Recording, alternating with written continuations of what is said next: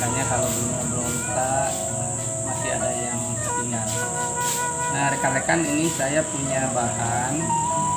Ini jenis kelapa kecil ya termasuk minium ini sudah melalui dua tahap. Pertama program akar di media air. Nah, karena akarnya sudah kuat lalu dipindahkan di media pasir. Jadi teman-teman ini media pasir. Salah satu kelebihan media pasir dia merangsang akar serabut lebih kuat setelah program media air. Nah ini perakarannya sudah cukup kuat tinggal program pengerdilan daun.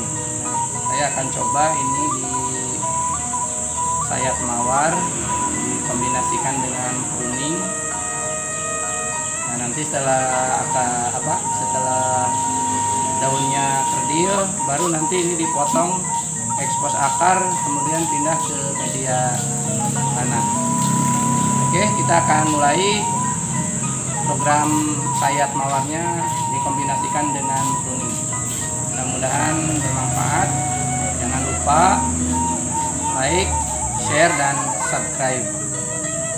Terima kasih atas kunjungan dari teman-teman khususnya para pecinta boneka terima kasih. Kita lihat bagaimana sekarang proses kuningnya